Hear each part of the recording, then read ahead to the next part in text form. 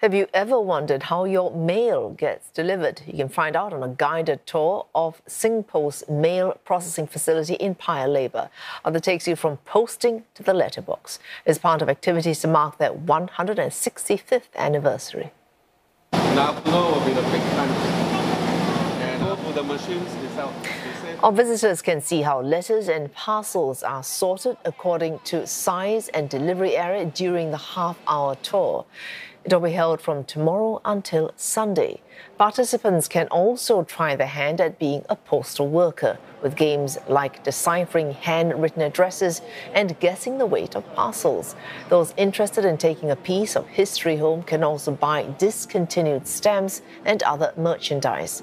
While speaking at the launch, Senior Minister of State for Communications and Information Janil Puthucheary urged SingPost to continue innovating and adapting amidst disruptions.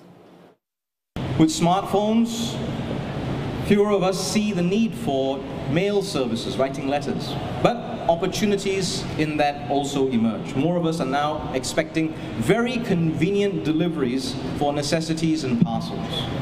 And in the last financial year, your e-commerce logistics revenues grew and accounted for more than 40% of your domestic business. It also means these challenges and these opportunities also mean that SingPost has to continue to innovate to stay ahead of your competition.